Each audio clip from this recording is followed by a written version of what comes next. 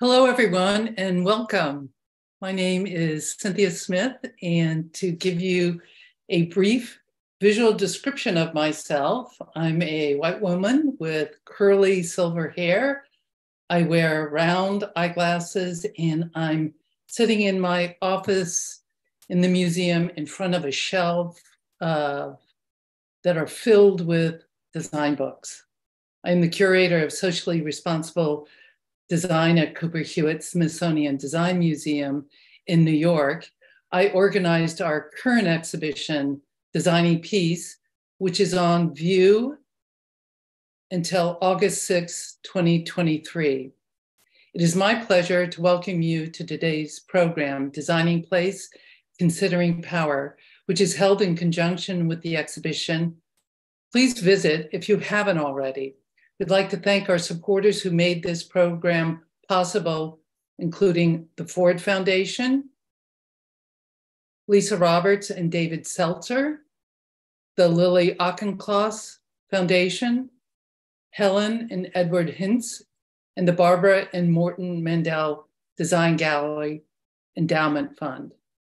Before we jump in, I want to share some logistical details and accessibility information for our program.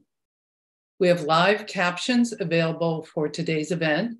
You can access all of those by clicking the closed caption button. I think it says CC on your Zoom menu and clicking Show Subtitle. My Cooper Hewitt colleague, Alexa Cummins, will be your point of contact for accessibility today. She'll say hello in the chat now. If you have any accessibility issues, you can send her a private message in the chat and she'll be able to help you out. For today's program, we encourage you to use the chat box to engage with your fellow attendees. Throughout the program, feel free to add questions for our speakers via the Q&A icon. Today's program will run for 90 minutes. It's being recorded and will be posted on the Cooper Hewitt YouTube YouTube channel next week.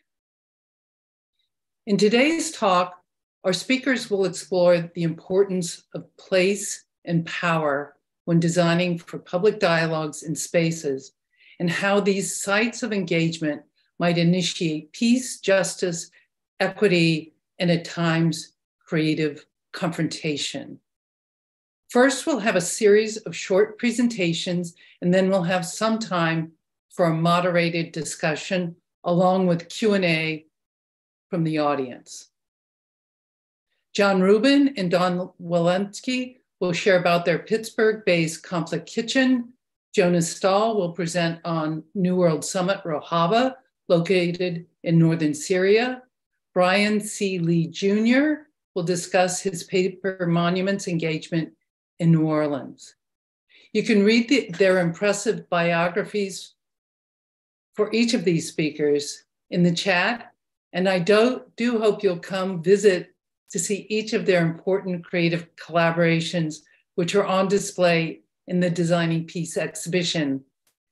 It's here at the museum. Now, also, we have a digital version online.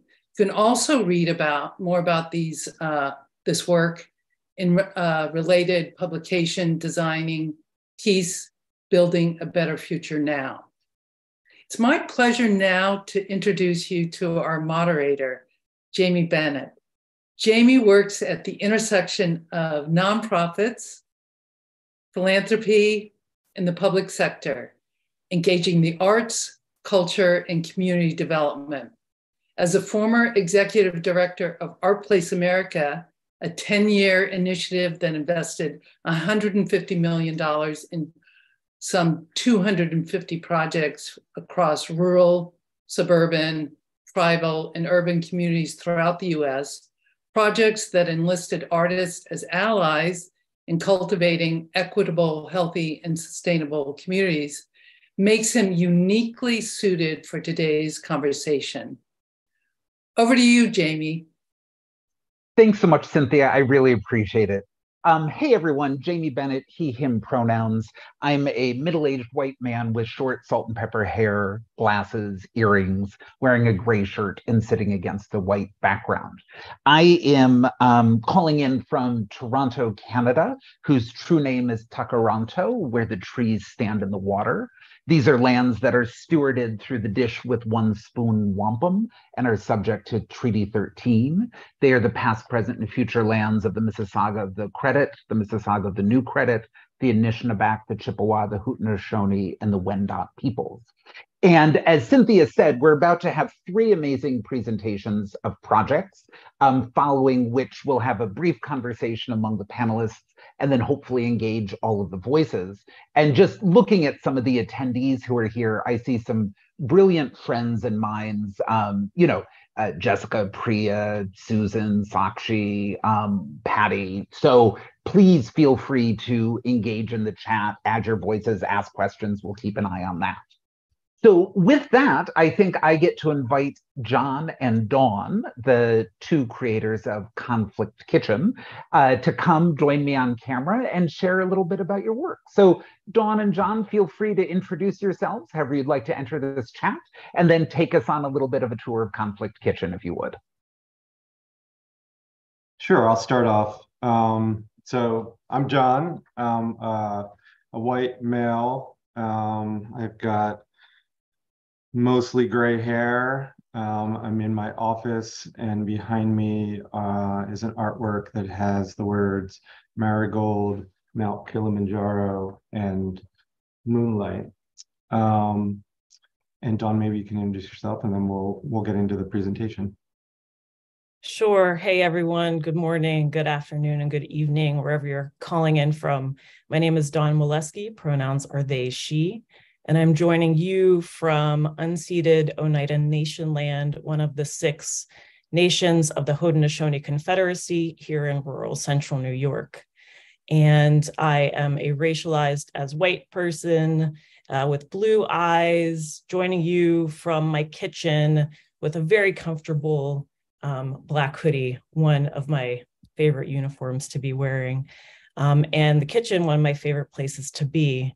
And Jon and I are going to share with you today uh, our project Conflict Kitchen, which took place in Pittsburgh, Pennsylvania from 2010 to 2017. And Jon will start us off. So I'm just going to share my screen and share some slides.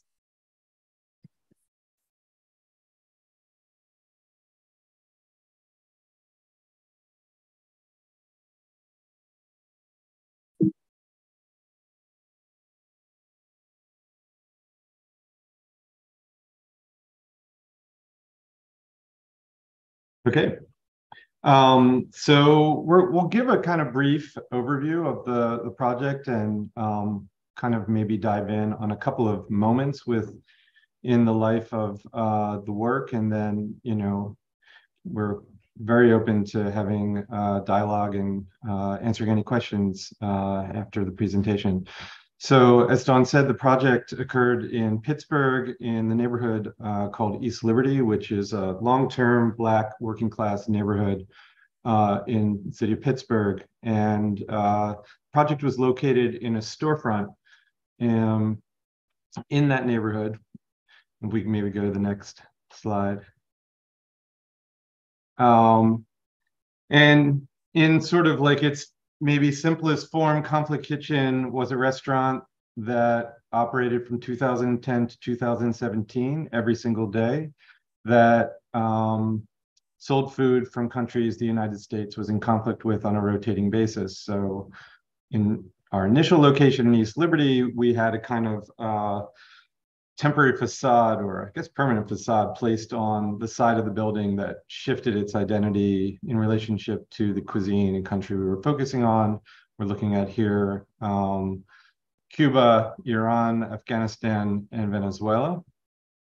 And one of the goals of this project was to bring to the street um, conversation that many Americans, many Pittsburghers might be uncomfortable having about countries that they might be entirely unfamiliar with um, and cuisines that they might never have eaten before. So the exchange uh, at the window of the storefront and of itself was a kind of performative space, but also a place for the distribution, not only of food, but uh, the food was wrapped with wrappers that contained interviews with people from each country that we were working with.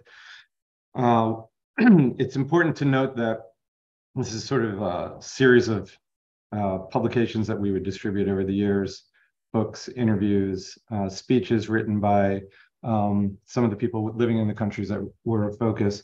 So the project is very much just a collaborative platform. Um, it was developed, here's a, sort of the beginning of our Venezuelan version where members of the local Venezuelan community are there for a taste testing. Um, it's important to note that the project worked with people in the countries that we were focusing on, but also in the sort of larger diaspora and in our city specifically. Um, so this is our Venezuelan version and uh, our Afghan version. This is a new venue that we moved into after, I think, two and a half years. Um, and we went from being in a smaller neighborhood that had fewer folks coming, maybe 20 or 30 people a day, to on a sunny day like it is today in Pittsburgh, about three to 400 people, and kind of shifted the model of engagement that we were able to um, to have. Uh, the recipes, this is, we're cooking in a, um, a women's uh, collective in Palestine, Al-Sada Nablus, uh, learning how to make maftul. And um, so recipes, again, came from uh, travels, but also came from local communities that we were working with, and specifically in this iteration, our Palestinian community here in Pittsburgh. And this is uh, before the Palestinian version, again, another taste testing. My friend Ahmed brought his mom from Gaza who had you know sort of modifications to the recipes, which was a kind of perpetual process of recipes being kind of shifted um, through the perspective of every everyone who's you know kind of cooked the recipe. Um, we also hosted a whole series of events and programs and educational um, uh, platforms. This is a meeting with the local Sudanese community outside, a kind of lunch gathering that we would have on a daily or weekly basis, rather. Um, lots of virtual sort of engagements. Um, right now with Zoom, it's I you know really don't feel like doing anything virtually, but in the pre-Zoom days, we did an Iranian virtual cooking lesson. We also did a North Korean version of this. People joined from all over the world.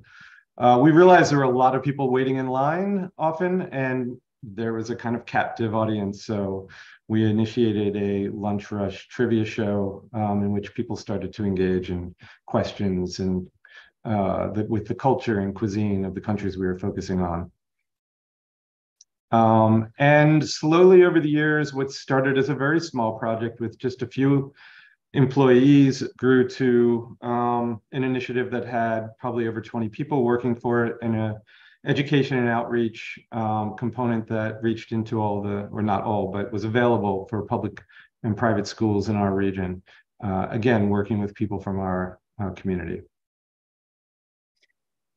And oftentimes, as Jon mentioned, we had this sort of captive audience waiting for their takeout food, right? We're utilizing within the stream of everyday life this typical, typified American capitalist concept of the takeout restaurant. So it's something that you would you know, presumably understand the protocol of you go up and you order, but then we would usurp that order and that protocol and say, with your Iranian food, perhaps you would like to have that with Sohrab Kashani, but you're going to be doing that through the body of Elise Walton, one of our conflict kitchen staff members. So the foreigner, which is a tongue in cheek way of saying, who do we call the other or the foreigner, and what is foreign to us?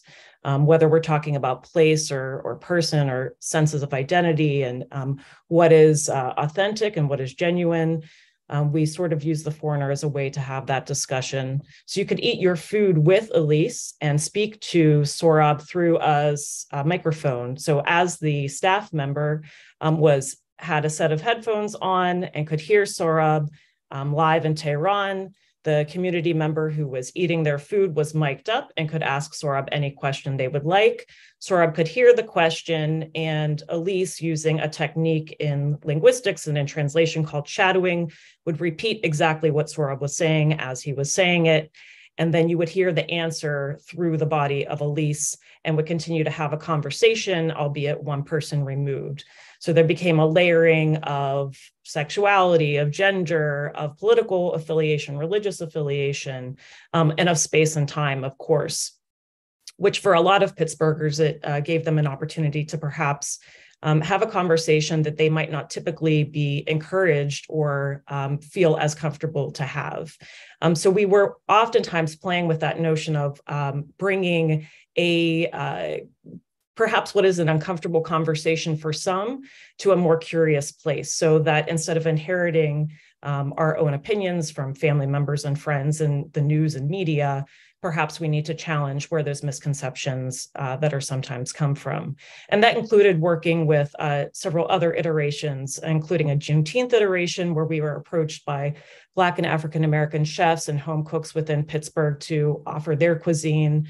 Um, so for several Junes, uh, we did offer Juneteenth cuisine, where we pointed not only to the food that we were making in the kitchen, but to the many Black and African American owned businesses throughout the Pittsburgh region, where you could get um, your greens, uh, you could get brisket, um, and things like Trinidadian doubles, which most folks weren't necessarily associating with Juneteenth cuisine.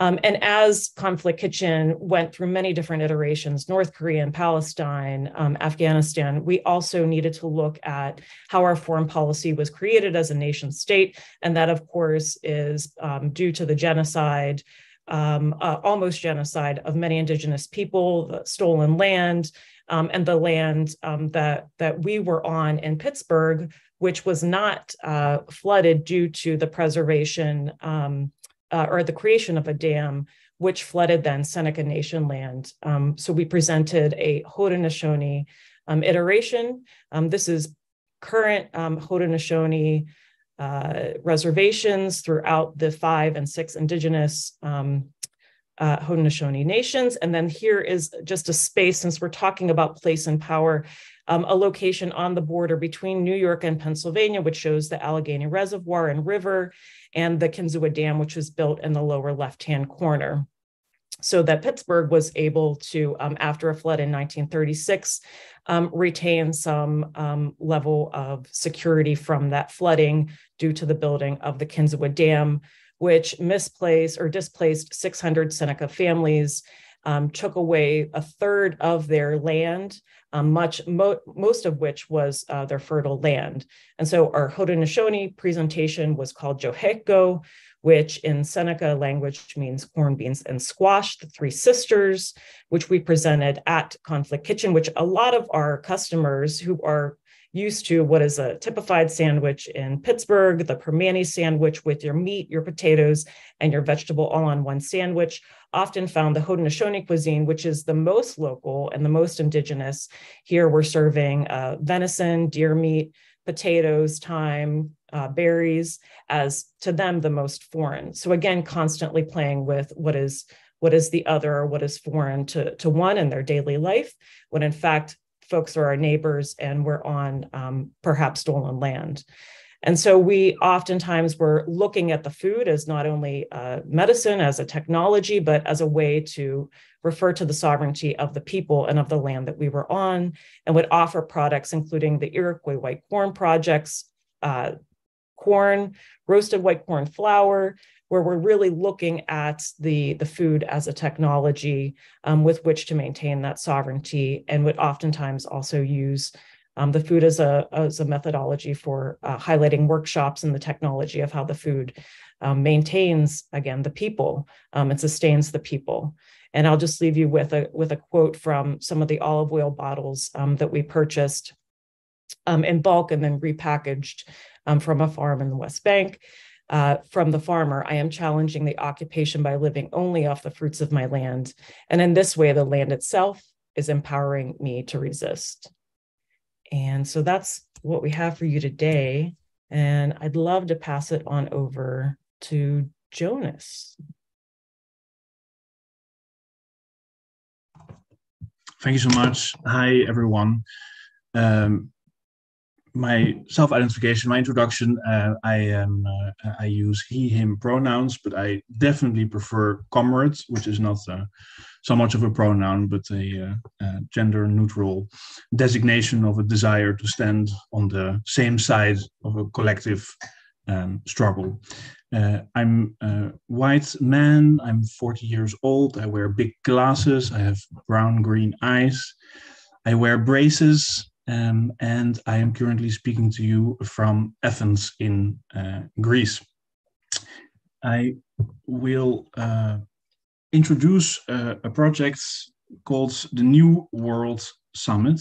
For that, I'm going to share my screen. Uh, which is an artistic and political organization that I founded in 2012.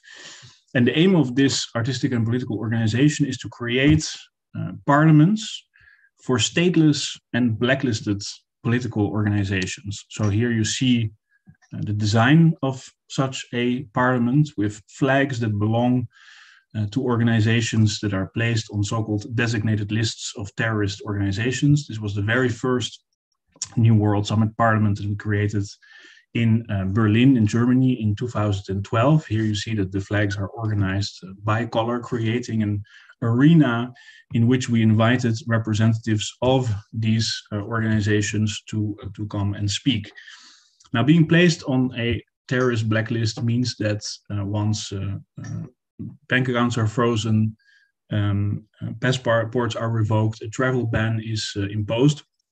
Essentially, you are declared stateless.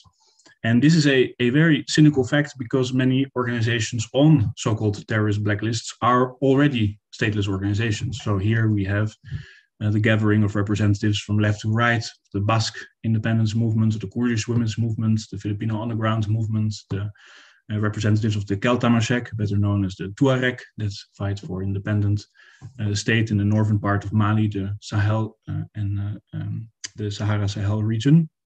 So many of these groups um, are already stateless organizations, uh, a struggle for their right to self-determination. So to place them on a, on a blacklist means that they are essentially double negated. You are, the stateless are declared stateless.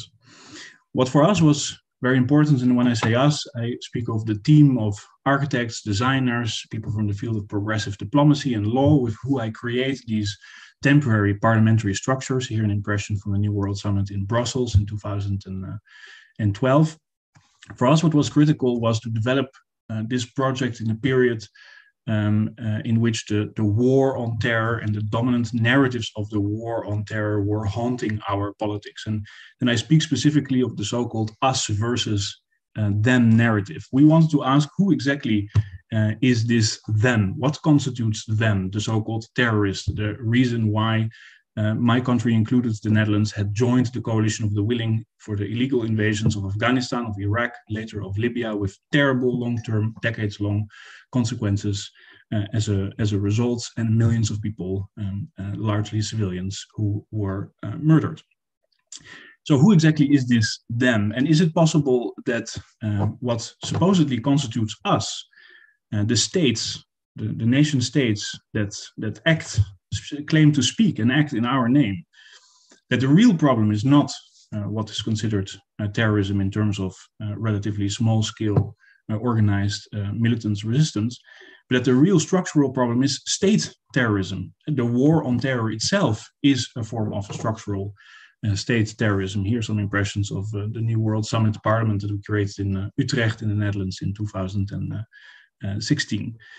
So, could we create spaces, these parliaments, where we could recompose what exactly uh, constitutes us and what constitutes them. Maybe it's the states that uh, that that lead this imperialist war that should be considered them, and maybe we uh, citizens who have rejected the war. Uh, from the very the, the, ongoing war on terror from the very beginning, maybe we have more in common with the groups that um, that are are uh, prosecuted and that, that are uh, often through paralegal means um, in the war on terror. Maybe we have more in common. Maybe we constitute more of an us, of a collective, uh, than this, uh, than the, the, war on terror narrative uh, presupposes.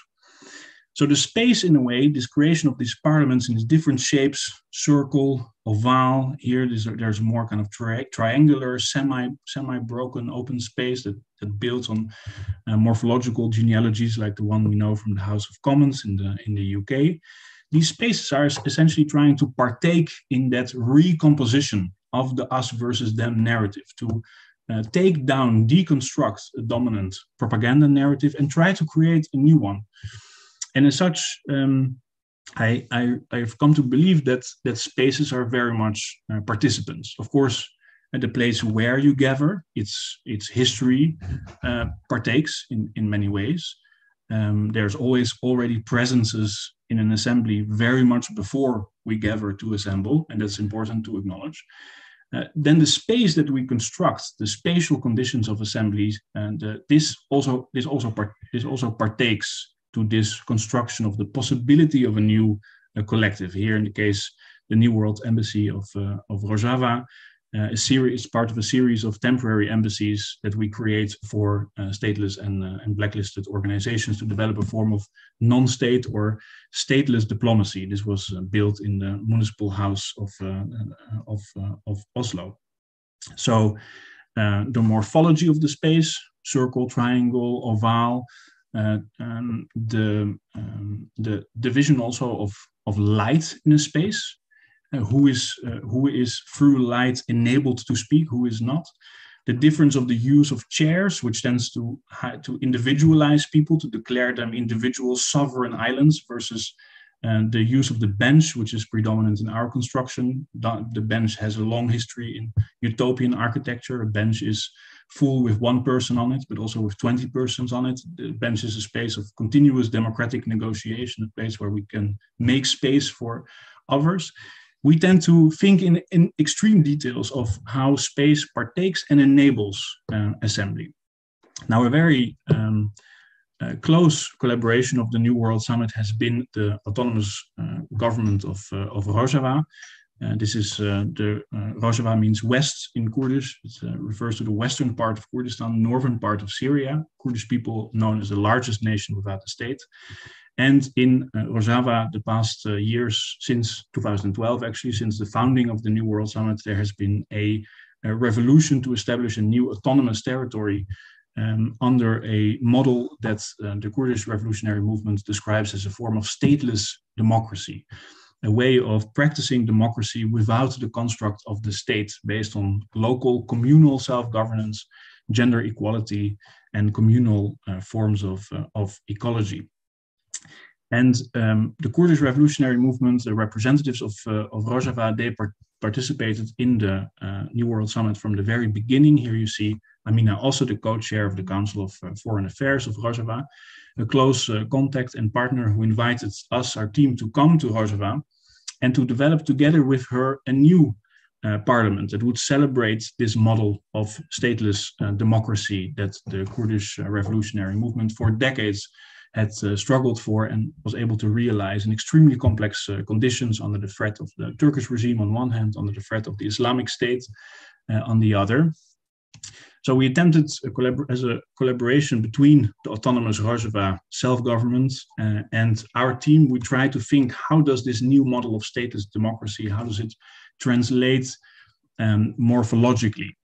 Um, here you see so the, some of the designs that we developed together with uh, Amina. Also here you see the beginning of the building of the parliament and that establishes its, its very specific relationship to Kurdish territory, to Kurdish uh, soil. From there, an agora uh, arises, a circular space of, uh, of gathering that emphasizes that in the Rojavan model of stateless democracy, it is collective self-representation that is central. Uh, for Amina, it was very important that the parliament would be a public space, that it would not be, the parliament would not be separated from the public space, but co-constitutes the public domain, and that the space between um, the, the, the person temporarily chosen to represent the community and the presence of the community itself would be as small as possible. This is what uh, this is why we use this term of collective uh, self-representation. That there's an, an, an, intimacy in the building, um, performatively and politically, of uh, this um, um, of the, the practice of uh, of stateless uh, democracy. here you see the images of the parliament that was opened in 2018. Continues to be in use, although currently it's under renovation. Uh, there is a parallel uh, Roosevelt parliament that is currently operating in, uh, in the Netherlands, where other coalitions between Kurdish movements and the Zapatistas, as well as activist movements like Extinction Rebellion, is being established. And as such, this is a, an attempt uh, to partake through artistic morphological competence, the thinking of the forms through which we uh, assemble and through which we try to uh, organize ourselves in a, in a very direct uh, you could say, political intimacy uh, with a revolutionary movement. That brings me exactly to 10 minutes. This was the time that was uh, given to me as the limitation for the introduction, and I look forward um, to discuss uh, with all of you and uh, uh, our fellow panel panelists, my fellow panelists. And it is now my pleasure to introduce to you Bryan C. Lee Jr. Thanks, Jonas. And as Bryan is just coming on camera and sharing his slides, I'll just share that Bryan woke up this morning largely without a voice. And so he's going to join us as much as he can today um, without pushing himself. So, Bryan, share whatever you would like to share, and we look forward to seeing the images and being with you a little bit. Okay. Uh, um, thanks for bearing with me here. so, I'll start by saying, um, my name is Bryan Bryan Lee, and I am a black man sitting in a hotel room in Cambridge, Massachusetts, with a maroon shirt on and um, short Caesar haircut. I'll keep it quick. um, I'm going to talk to you a little bit about a project called Paper Monuments. And this is a project that was founded in the aftermath of this nation's kind of pursuit to remove ra- racist monuments from the landscape of our built environment. And so in New Orleans in 2015, we started a series of organizations that uh, really sought to do that. Some, some were direct activist organizations, some were artist organizations I'm going to talk to you about the kind of arts and public space organization that came out of that, uh, or at least pr- project that came out of that called Paper Monuments. Um, some people ask why is it called Paper Monuments? Mostly because we didn't have any money and thought paper would be an easy way to uh, reach as many people as possible, but also to not solidify a new idea in the face of something that had already been uh, 150 years in the making in our given cities. Robert E. Lee sat for 150 years in the center of New Orleans as one of the tallest monuments in the city, and Robert E. Lee had never been there. So, how do we create an opportunity for many people to have uh, a series of, of, of um, imaginary opportunities and to put those proposals back into the world and uh, accumulate those and represent them back into the public? So, a little bit of context. Um, that time was very contentious in, New Orleans. We had a lot of the racists that you saw in uh, Virginia and across the country would travel from state to state, but they really started here uh, in 2015 16 um, and were pretty violent. Um, they didn't uh, murder anybody while they were in this particular city, but they did carry guns uh, around at every event. And they were very kind of public about that um, threat. So that was one of the things that we were dealing with uh, as organizations as well, how both to challenge a larger system and to deal with the kind of acute malice that was proposed or threatened uh, in that particular moment in time. Um, so Paper Monuments became a project that was about imagining what new monuments might look like to the city, what stories were not being told, what stories were under wraps or been buried over time, and how do we lift those stories, the, stories of teachers and of coaches and family members, the ones that are often negated in our larger context of history. So I'll talk to you a little bit about how we set up the system. we worked to use and utilize all of our uh, kind of public transit systems. We posted up at bus stops, at train stops, and posted a lot of posters, which I'll I'll talk a little bit more about later. Um, we used our public libraries consistently all across the city. We use our public institutions, cultural institutions across the city. We talk to our schools and universities across the city in mass. And we activated public spaces in mass. So all of these dots that you see are interventions, either static interventions of artwork or uh, public interventions of activities or events that we created. So, doing so, we created a process in which we gathered posters and proposals for people, over 1,500 proposals over that time. Um, and we collected those stories and made them into these kind of beautiful posters, put them back out into the public. So it wasn't a dialogue or a conversation between us as designers and the public. It was a conversation amongst a public itself. Right? Uh, so we took those conversations, gave people other opportunities to have uh, input, and started to aggregate that narrative. so whether it was about culture or families, or the legacies of women in the city, um, we wanted to make sure that it was visible and visible all the time. One of the ways in which we did that was to activate as many authors and storytellers as possible, as well as as many artists, contemporary artists, who would translate and take those stories and make them um, relatable to a contemporary environment, both in 2D and in 3D. But we'll start with the poster designs. Again, we started with posters because there were so many stories that were coming in that it meant that we needed to to find a consistent but beautiful way to tell all of those stories.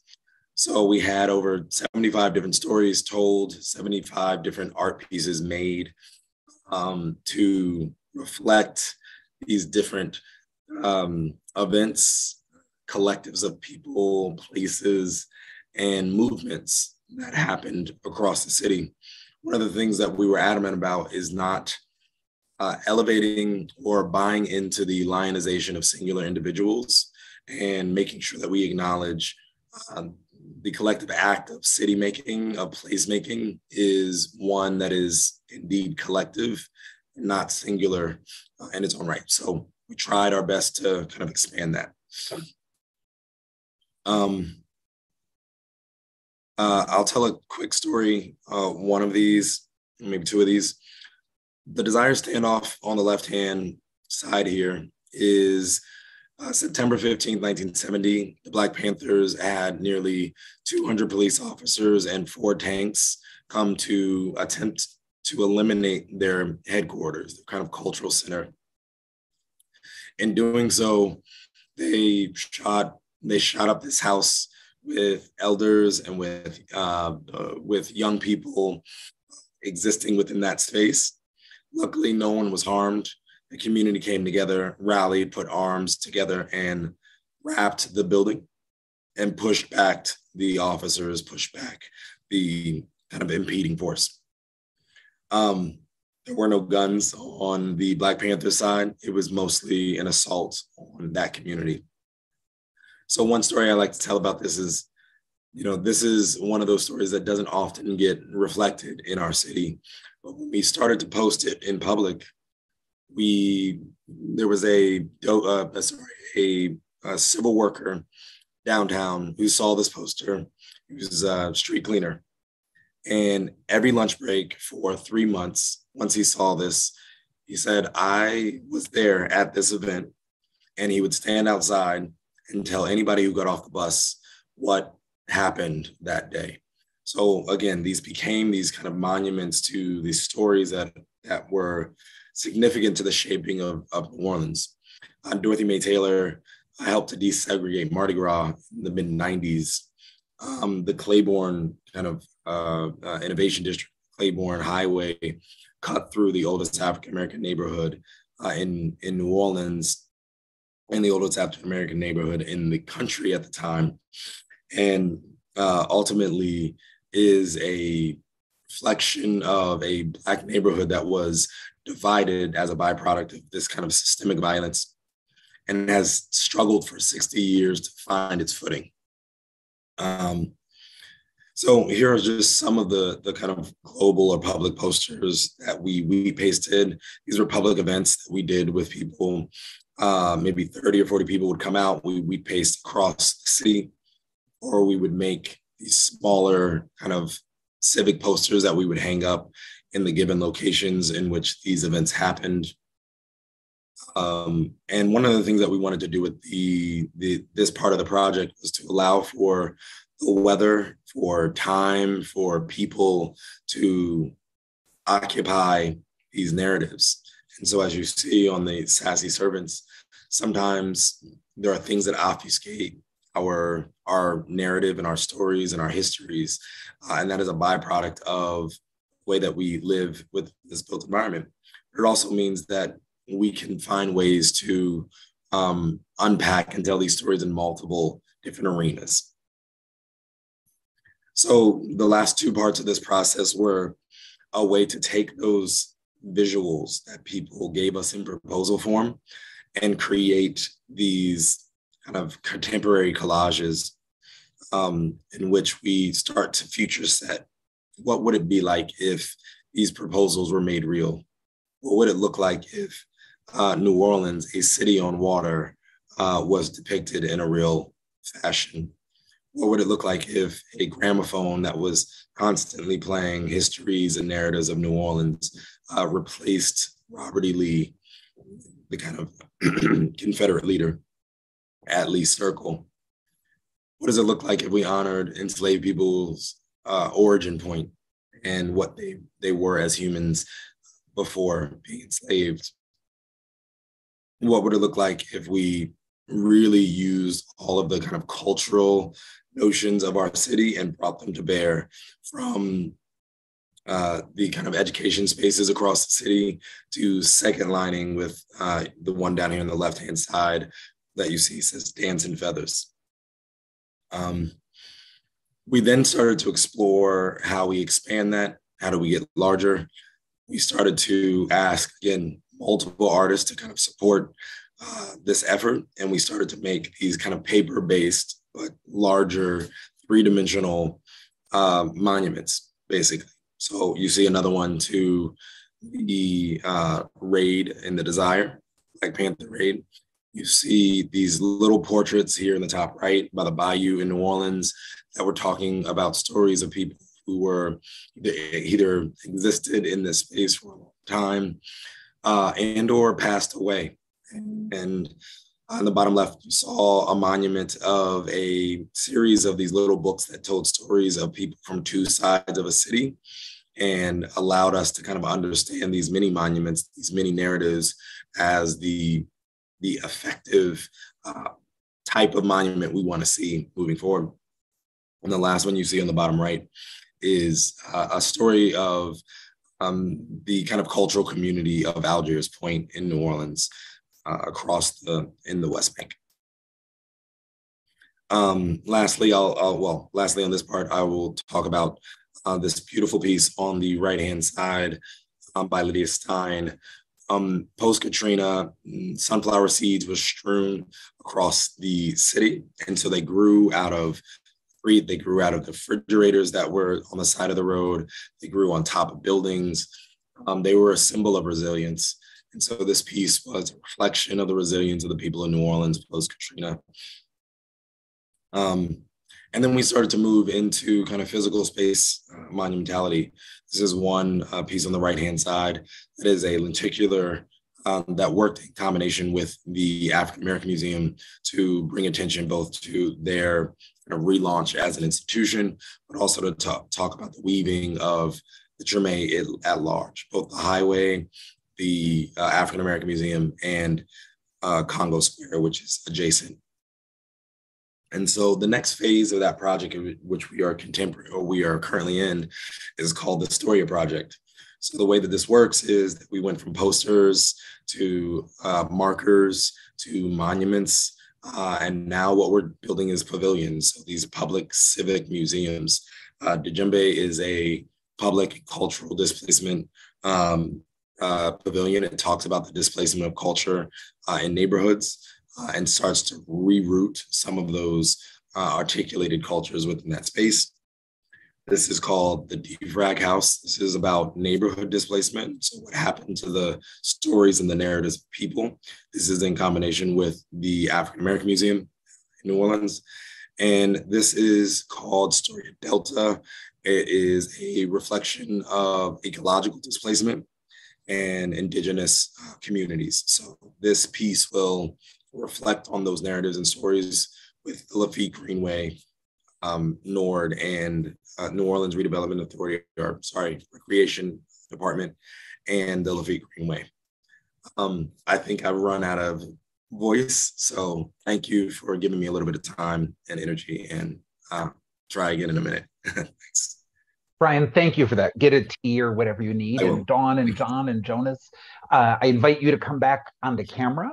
Um, for everyone who's been watching and listening and paying attention, feel free to jump into the chat. Would love to have your thoughts, your questions, your observations. And I think maybe the place I'd love to begin with you all is it's always interesting to me when a sort of curator comes in and brings sort of her frames to a set of projects and sort of sees what they have in common. And in some ways, place is kind of an obvious one. All of you are doing projects that are about people in place. And I've sort of found place to be a, a particularly squirrely topic. I don't sort of quite know how to define it. I don't know how to think about it. And Dawn and Jon you know, in our prep call, when I sort of said conflict kitchen, you know, why did you set it in Pittsburgh? You both sort of said, well, because that's where we were but I wonder, as you think about that project, how important was it? How much was it taking place in Pittsburgh a factor that shaped it? How much was it different when it was in East Liberty before it moved to another neighborhood? Just talk a little bit about sort of how, however you're thinking about the places where Conflict Kitchen has been, how that informed and shaped the project. Go ahead, Dawn. Do you want to start? Sure. Um, well, I'm I'm born and raised um, in a rural area just outside of Pittsburgh, and most of my adult life was spent in in the city of Pittsburgh. And so it was for me the project very much a part of coming to understand the levels of of ignorance about place that I had in a place that um, even though my family had been there for four and five generations, um, and we're very much a part of the blue collar communities within the city and um, and surrounding areas. Uh, I didn't know much of the history, um, or I had a version of the history that was just plain incorrect. And so Conflict Kitchen was an opportunity for, I think, Jon and I, in a lot of ways, to do a lot of learning um, through uh, what through conversation and you using food as a catalyst for that conversation which oftentimes again those uncomfortable conversations or the discomfort moving to curiosity was something that we very much were doing and working towards. And so pittsburgh was important because it was uh, I had to work through a lot of my own misconceptions of of my neighbors and place and sense of land and um, and yeah, Jon, for you. Yeah, I mean, I think that covers a lot of it, but there's there's also something about making a work in the city in which you live every day. I mean, the um, the restaurant was always just a couple of miles from where we lived, um, and the restaurant is like a living, breathing, daily entity that is, I think, um, the beauty of it is it's a kind of mechanism for a call and response with the public, which seems to be something that each of these projects in varying forms engages, right? Is sort of a kind of porousness, um, a sort of provocation or question put into the public sphere, and then a response, and then a, um, and then a you know a conversation back. And so you know when we started, I think uh, we, our first focus was on Iran. Um, people started coming up to the restaurant telling us what we needed to focus on next once they figured out what the premise was. Um, there was almost like an organic quality that happens by just being there on a daily basis, um, coming up with programs and ideas and platforms that hadn't existed in our city. We could only know by being in that city. Um, you know, of course, you're always like a call away when the fryer breaks, but you know, additionally, you're there when like a, a, difficult conversation arises and you need to find a way to uh, create a public forum to address it and how the project can and cannot be that place. So I think that was really important. You know, I've done work and I think we all have in, in cities outside of our own, but there's a kind of um, organic gathering of momentum and um, and relationships that happen in a city you live in. Thank you for that. And Jonas, I, I particularly loved um, your sort of uh, discussion of the sort of seat as an island, the bench as sort of the thing that connects us. And in many ways, that's sort of how I approach cities because, you know, I used to live in New York City, but really I used to live in Brooklyn. Really, I used to live in downtown Brooklyn. Um, which are related but but not synonymous. But the the frame I'd love to invite you to jump in with, Jonas, is, you know, this is an exhibition called Designing Peace. And you are working with a set of folks and a set of placeless peoples and a set of nations where peace is not the sort of first frame that necessarily many folks would sort of put on that. How do you think about the, the sort of New World Summits as adding peace to the world as not adding you know is that a frame that you would have chosen for yourself as as you're thinking about this project um, no, but what I really liked about, I mean, what I really like about Cynthia's framework, first of all, it's that it's like uh, it's a framework of a big mind. Because to st- start talking about designing peace, it kind of it immediately it's immediately a provocative form because it asks the question is peace something that can be produced and under what and under what conditions and what is the role that uh, artistic or design practices like what is the role that cultural work plays in prefiguring the imagination of peace um, which I think at the, at the part, the moment of time in which we are, the radicality of peace is evident. It's the necessity and an urgency to speak and and and uh, think of militant form of peace um, is uh, the necessity of that is, uh, is is very apparent. Then there's also the question of the um, how we how we create the visual and formal and spatial conditions and how these can and, and how these contribute or can these contribute to the, the possibility of uh, of peace and and here i'm always a little bit conflicted because of course I mean, when I was uh, uh, traveling in Syria, I saw the roundabouts, which uh, had been transformed depending on where, which, uh, which territory you were. In the territory still under control of Assad, it's Father Assad uh, and and the current uh, and the current leader of the regime. In areas that had recently been liberated from ISIS, these same roundabouts, the same structure, the colors had been changed into black and white, and the tiles and cages had been placed to exhibit uh, prisoners that would later be executed.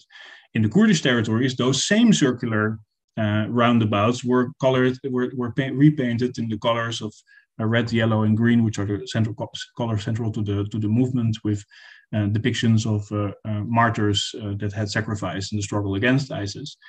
And each of these roundabouts really represented something fundamentally different um, and, and its infrastructure played a different role in telling the story of that difference but it was st- still that roundabout. So um, just because you uh, make benches circular or you divide light equally doesn't mean that the people who are gathering um, uh, an egalitarian space doesn't not necessarily make egalitarian people. But it is a necessary part of it at the same time. So it contributes to, but it is not a guarantee towards peace. And I think that that just says something about the modest role that we as artists and cultural workers play and the fact that we cannot and should never think that by and of ourselves we design peace. We partake in broader movements, broader popular movements, broader political organizations, uh, and in that we play our uh, relative, important, but very relative uh, part in the bigger whole. Thank you so much for that, Jonas. And uh, that notion of sort of prefiguring peace or sort of dreaming the peace we haven't yet um, experienced. Bryan, I often think the sort of twin of that kind of dreaming is excavating the past that's been papered over, that's been intentionally erased, that's been sort of pulled out. And I'll sort of I'll, I'll offer you the sort of third P that Cynthia offered us, which is power. And you know, monuments are a very specific form of power in America. Paper is an interesting thing to sort of fight.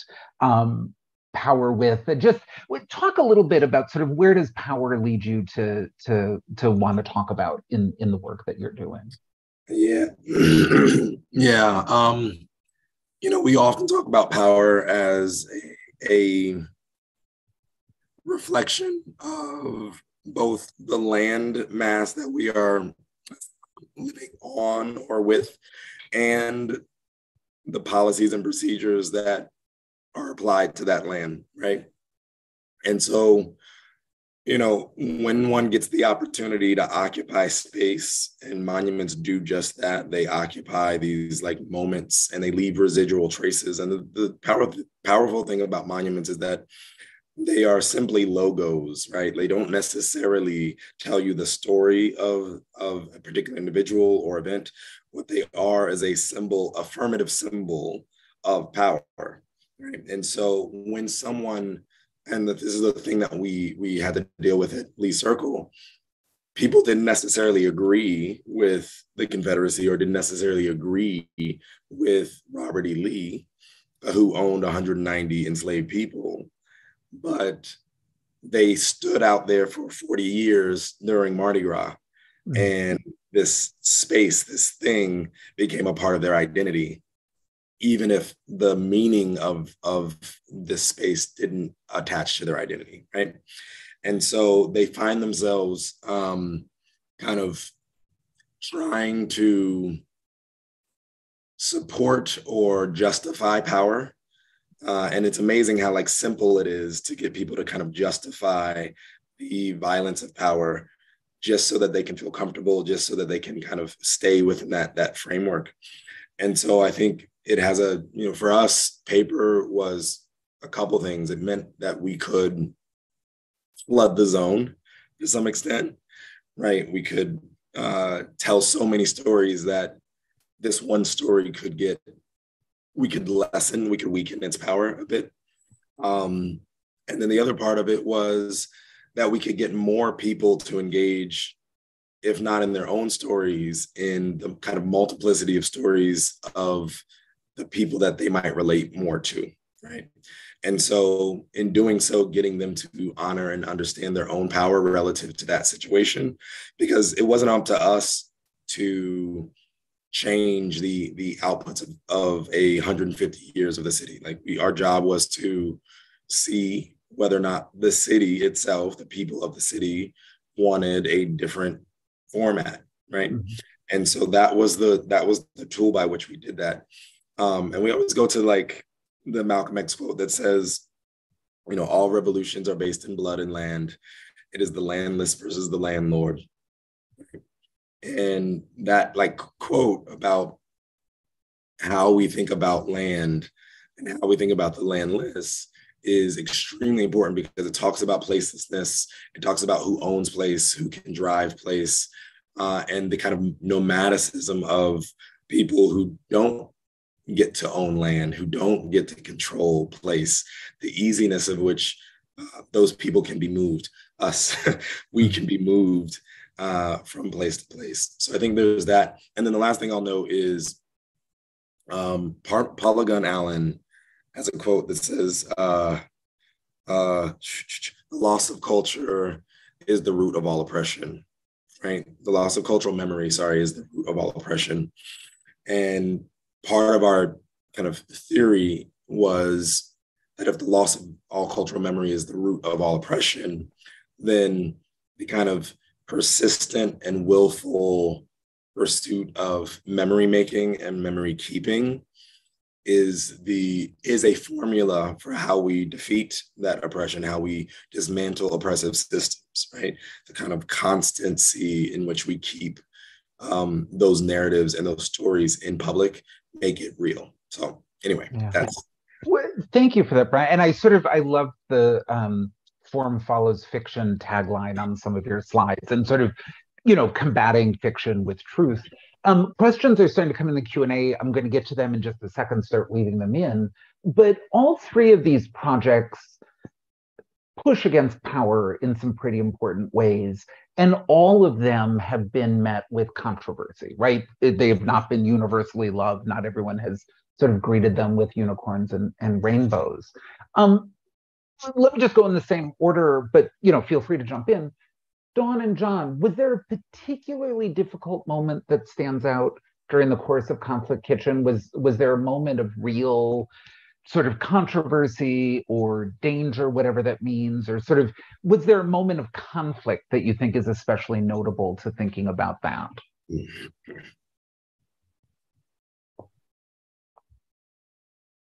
Um, I mean, yes, but we also are clear to not have that define the uh, uh, sort of mission or identity of the project. Um, so the voices of, you know, in our case, you know, sort of uh, a group or uh, anyway, I'll maybe I'll talk about a situation that happened and we can kind of contextualize it in a larger um, way. Uh, so we focused on Palestine, and I think like any artist or intellectual or individual who's in the United States or in, in other countries as well, but specifically in the United States, if you if you focus on a Palestinian centered narrative with Palestinian voices, um, you're going to come up against a very large um, and organized effort to um, silence those. And so, uh, you know, during our Palestinian iteration, which was no different, you know, in its focus than say our North Korean or our Iranian one, it, you know, presented the thoughts and views and opinions of people living in Palestine and Palestinians living in Pittsburgh, um, you know, we started to basically be attacked in the media, which is sort of standard thing. It got kind of picked up in in the right wing media um, in terms of a kind of specious set of relations between uh, a grant funder of ours, the Heinz Endowment. So Heinz Ketchup is produced in Pittsburgh, and one of our funders. Um, but the sec, uh, Teresa Heinz was married to the Secretary of State at the time, John Kerry. And so there was a lot of sort of like using our tiny little restaurant in Pittsburgh to basically throw uh, Kerry's efforts in the Middle East, which are basically not reflective of ours or Palestinians, but to throw them, you know, um, into disarray and specifically Breitbart and Fox News running articles, you know, that uh, Secretary of State funds radical is anti-Israeli, anti-U.S. eatery. Um, you know, I had people behind the scenes trying to get me fired from my job at my university. Um, one of the things to note is that the project uh, operated through a research center at my university so that the employees of the uh, restaurant are employees of the university and had benefits the university could provide. But you know that protection you know once you come against you know certain narrative forces is quite thin. Um, we received death threats had to close the restaurant. Um, was a very destabilizing and uh, environment for uh, our employees. Um, and i think you know again this was a moment in time. You know we it's a seven year project. Uh, we continued the palestinian version um, you know and re uh, constituted it in many different iterations into the future. But um, yeah, you know, our goal was just, you know, we're serving food and telling stories of people that, um, you know, don't need to be countered, right? You don't need to hear the Israeli side of a Palestinian viewpoint on government policy. Uh, and frankly, we're probably over inundated with that now narrative. Dawn, what stood out for you? Yeah. Yeah, thanks, Jamie. I I think in addition to the the conflict with our Palestinian iteration, the the project ended for a number of reasons, but um, at one point our staff unionized and so therefore the university because the staff were university employees was taking on yet another union. And uh, we had contract negotiations for almost a year. Mm. and then about a year after that the um, we had to end the project in terms of our relationship with the university. And so i would say that after seven years, we became an institution nestled within another institution um, that because of the um, because of the lack of flexibility due to the growth of the project and it further embedding itself into capitalism uh, actually became the demise of the project in a lot of a lot of different ways. And so when jonas speaks about you know political intimacy and when um, when Bryan speaks to to storytelling and and collectivizing that storytelling, you know there were there were points when we probably should have shifted um, the direction of the project um, or perhaps the structure of the project. And uh, so that led to a lot of interpersonal conflicts, conflicts within the project, conflicts between individuals and institutions affiliated with the project. And uh, it's it was a deep learning experience for me personally and as an artist. Um, and it's it's one i continue to to learn from and grow from very much. And dawn just before i go over to jonas uh, someone was wondering does conflict kitchen live on other than its documentation? Will it happen again? Is you know what what are your thoughts about sort of the future of conflict kitchen? Uh, there's there are no plans to to reiterate it in any in any way. And in fact there have been many versions or iterations that that folks around the world have have taken up on their own. Um, there's a version in poland there's a version and there are different iterations have popped up um, it, previously or continue. And it's that's great. The idea is that the you know in terms of this notion of ownership or concept um, or the notion of food as as an as a tool for for sovereignty and storytelling. Um, that's certainly uh, not something that that we're the only folks that that have done or can do, um, and we encourage others to to continue on with that with that legacy. Thanks for that, Jonas. You, your project, the the New World Summits, deal with many of the same peoples and countries that were also represented in sort of Conflict Kitchen, and you were sort of engaging them as a group and in a global context. Talk about some of the controversies you've experienced. What are some of the political ramifications? Just help us sort of widen that aperture, if you would. Yeah, I mean, yes, I think let's say the, the territories of Conflict Kitchen and New World Summits partially overlap. Of course, they are fundamentally different because state people struggling for their own independent state or uh, right to their territories um, have a different geography that is currently not acknowledged in the in the in the world map. I mean, it's it's I I'm very happy to be part of this to be in this panel because I think there's a lot of questions related to organizing um, and the vulnerability of organizing that uh, that are very specific to yeah very particular kind of artistic and cultural cultural practice. So I I recognize a lot from.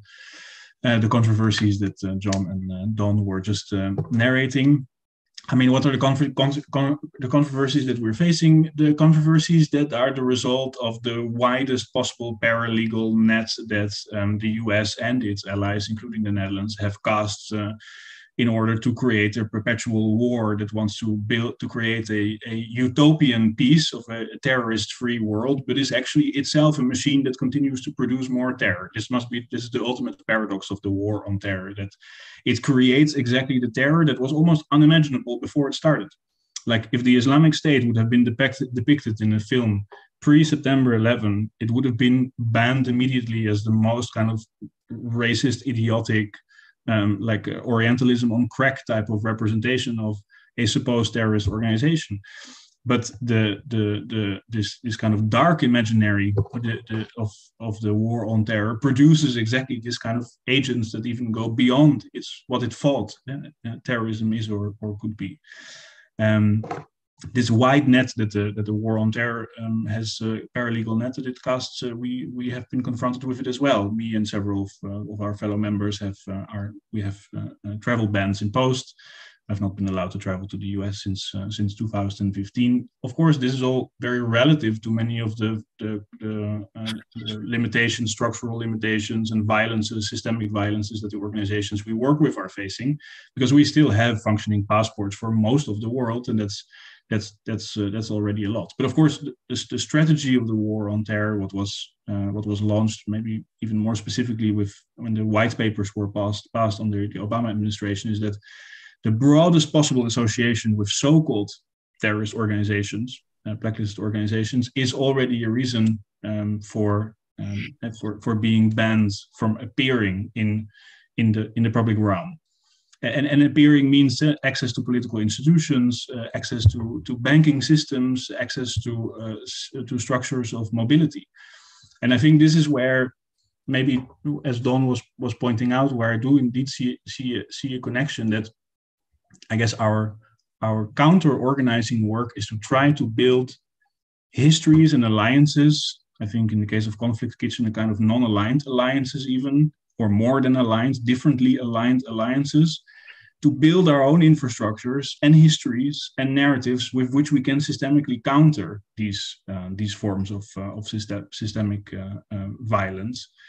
Um, and that maybe provides a relative form of safety and solidarity and, and comradeship um, in order not to be dissuaded from the very beginning to even enter to engage these questions in the first place um, as, as Jon was pointing out in relationship to uh, to uh, supporting um, the Palestinian right to uh, self-determination, which which basically equals uh, equals boycotting your yourself, your future career, uh, your access to uh, to funds, and and you name it. And and this is very recognizable. But the more of us refuse to partake to this narrative, the stronger that the stronger that we are. The more chance that we can create a relative peace within our community.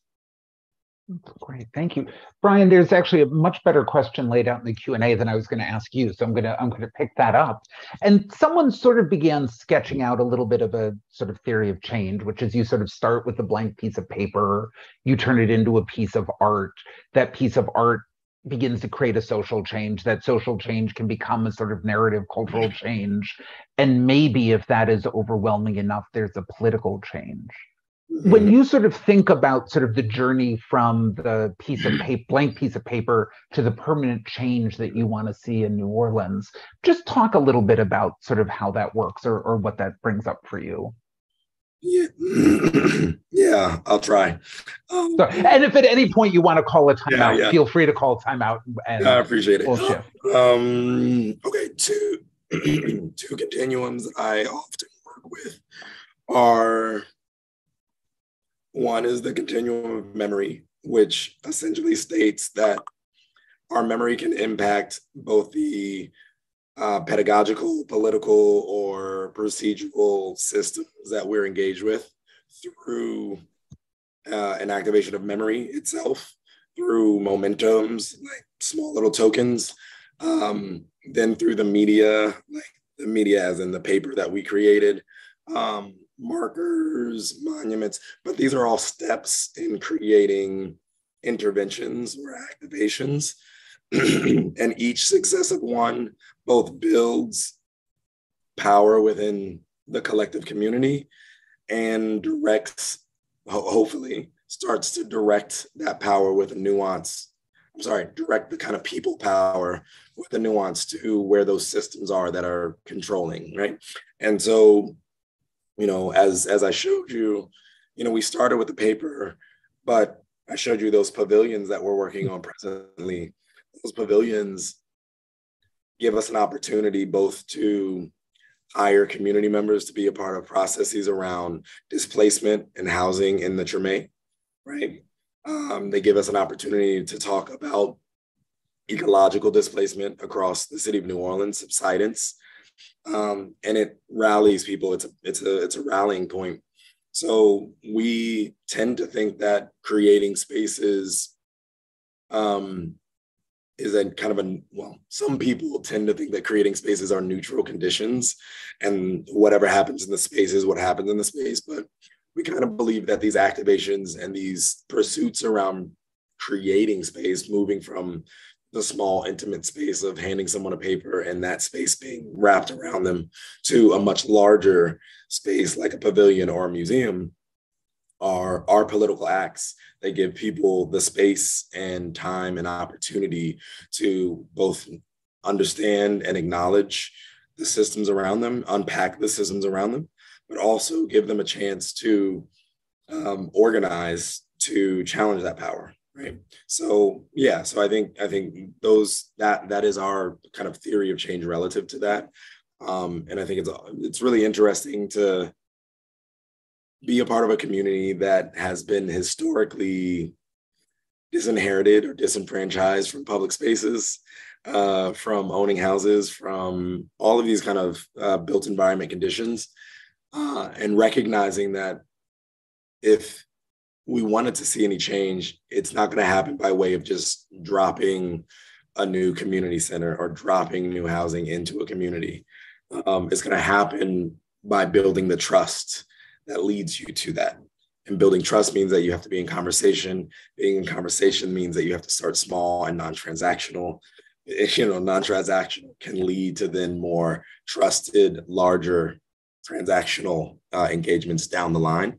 But if you don't build that trust, then none of it happens. And so we thought paper transactional, we give people a gift basically, uh, and we build relationships, and then it gets to where it gets. Beautiful. Um, Dawn, you did a little bit of this in the in the Q and A, but I, I want to invite this into the spoken space as well. All of your projects take place in public space, and we know, Bryan, exactly as you sketched out, that no public space is neutral, is universally accessible. So, as you think both about sort of physical accessibility, as you think about welcoming, belonging, safety, Dawn, what does the sort of designer self in you, how do you begin thinking about making spaces that sort of achieve that continuum of access, welcoming, belonging, stewarding or or however you would sketch it out. Just anything you want to share here in addition to follow up with Kelly and writing. Yeah, I I think you know when Bryan mentioned moving away from the transactional or being able to build up to a place where then the transactional is a collectivized protocol right where there are expectations and there is some level of trust which of course is always ebbing and flowing it's trying to create or inter interlope into spaces that are possibly overly transactionalized and are are working with modes of production instead of reproduction. So if we can as jonas was pointing to move in solidarity towards more reproductive methodologies um, which sometimes means stopping and pausing um, and backing off and also allowing for a lot of grace and also allowing and building in time for breakdown right and antagonism and allowing the agonism to move to antagonism which i think a lot of our work is about continuing to to poke and prod at some of these things so that so that so that the violence is at the surface but also maintaining time for there to be rest you know in the seasonalities of organizing as as many folks talk about it this too has to occur within a reproductive practice as a designer or an artist or an architect.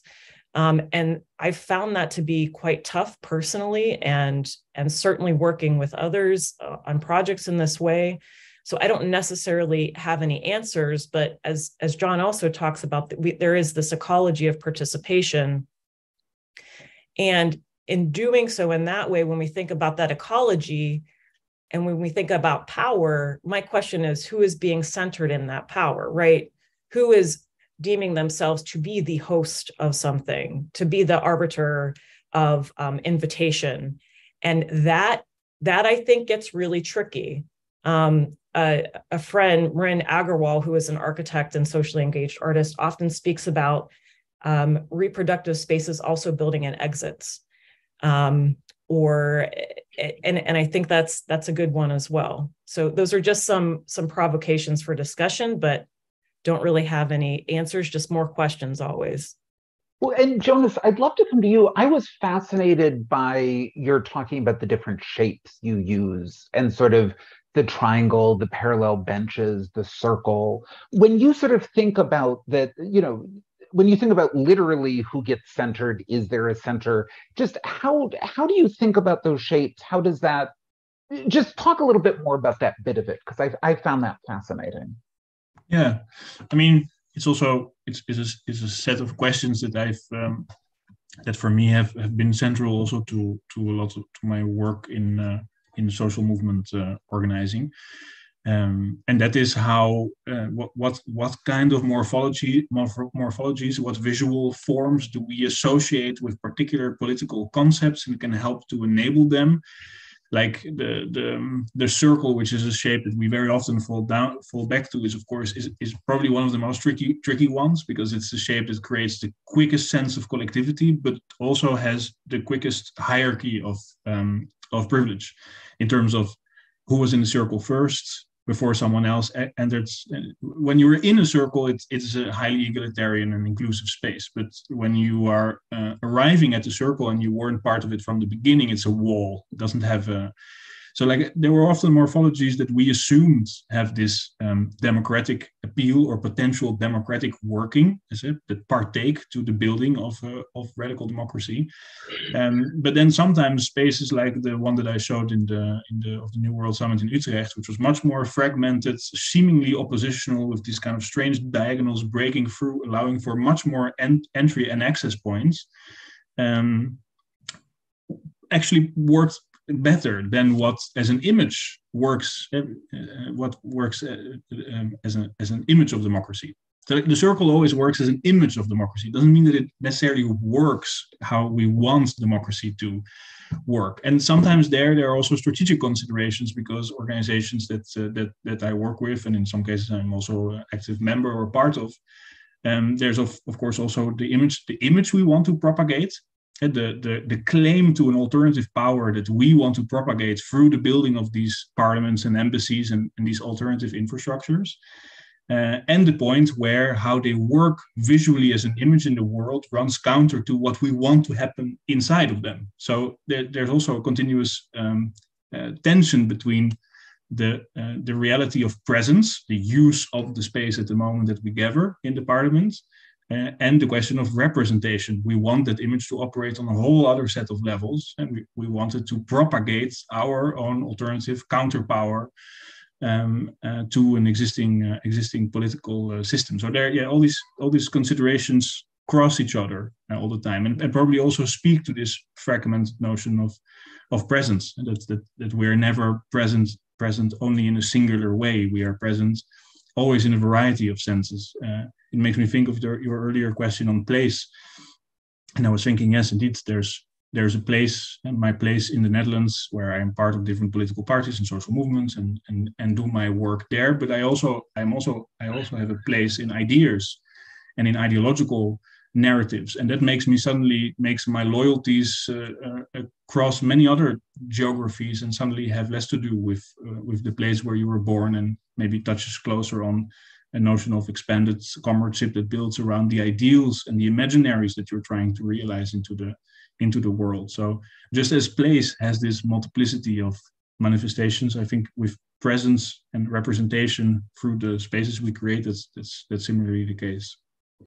Good, thank you. I'm really, I had never thought about sort of triangles and diagonals, and I've, I've got to design an event in a couple weeks. And I, anyway, I did, thank you for that. Um, so we are dangerously close to ending this event on time. So I want to see if I can mess that up with just this sort of quick exit question for you. Um, and let me just go Bryan, Jon, Jonas, Dawn what's the thing that you're sort of working on now? What's occupying most of your mental space? What's giving you the most excitement? What's something that's sort of front of mind for you Bryan?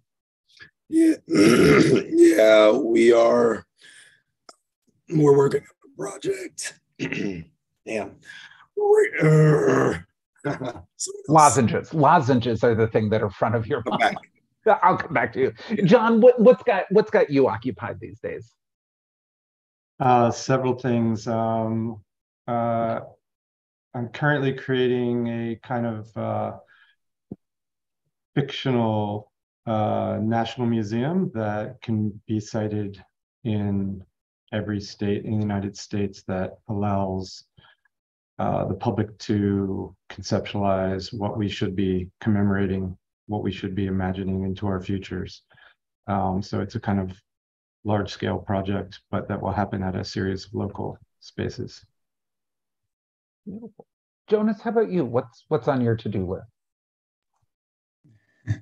Yes, many things, but the what I'm very closely to close closely working on now is a collaboration with uh, lawyer Radha D'Souza on an alternative tribunal that we've created. We call it the Court for Intergenerational Climate Crimes to prosecute um, climate crimes perpetuated by states and uh, corporations. And we're organizing, preparing a series of public hearings now in uh, in Gwangju, in Korea, that start next week, that specifically focus on the intersection of war crimes and climate crimes.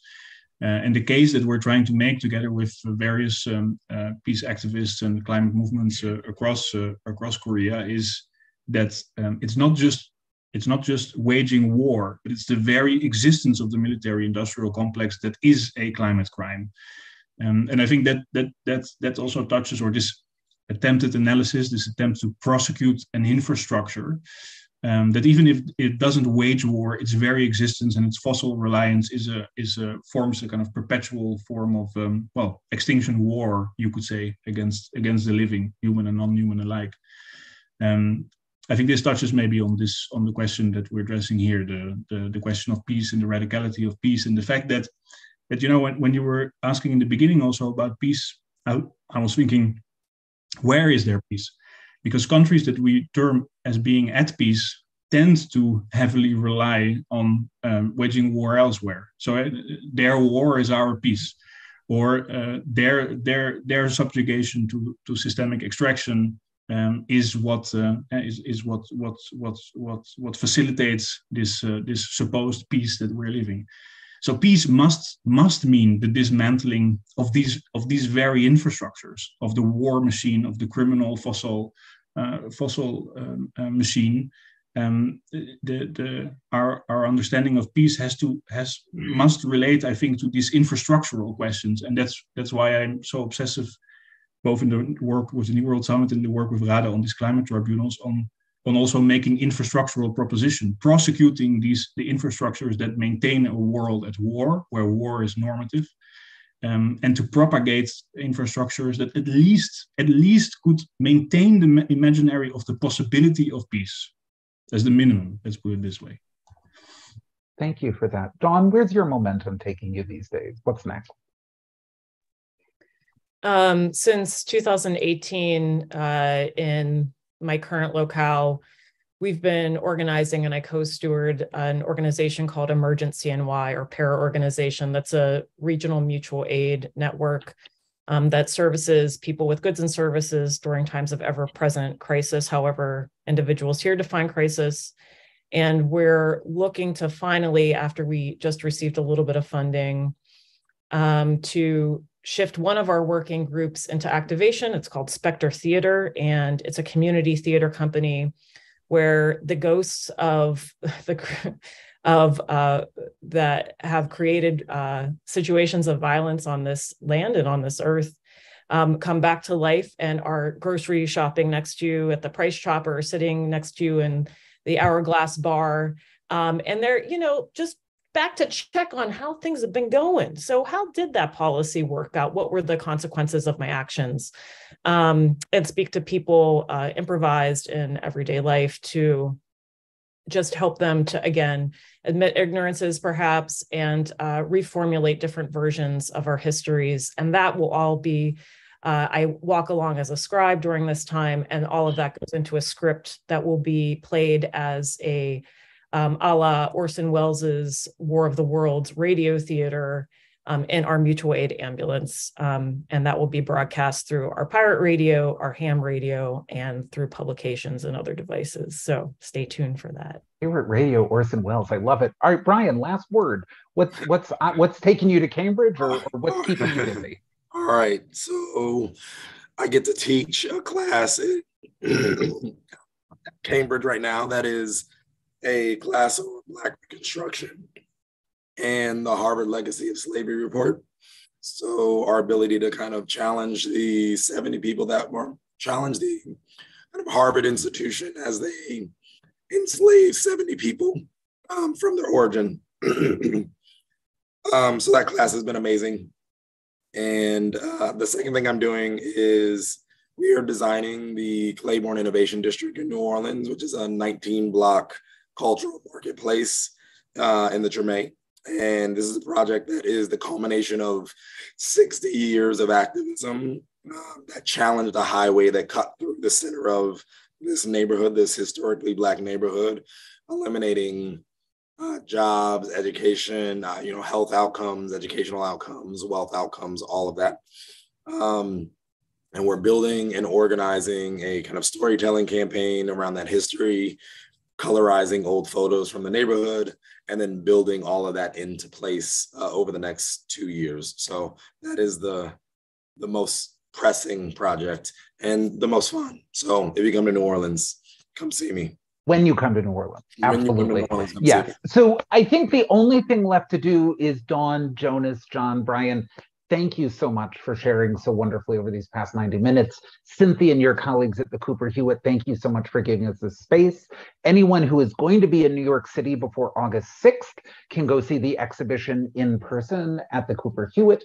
Anyone who's not going to be there, there really is a wonderfully done um, sort of digital experience of the exhibition online if you go to the Cooper Hewitt website. So with that, Thank you all so much. Enjoy the rest of your days wherever you are. Uh, and we'll see you soon and hopefully over a delicious piece of food. Um, great. Thanks so much.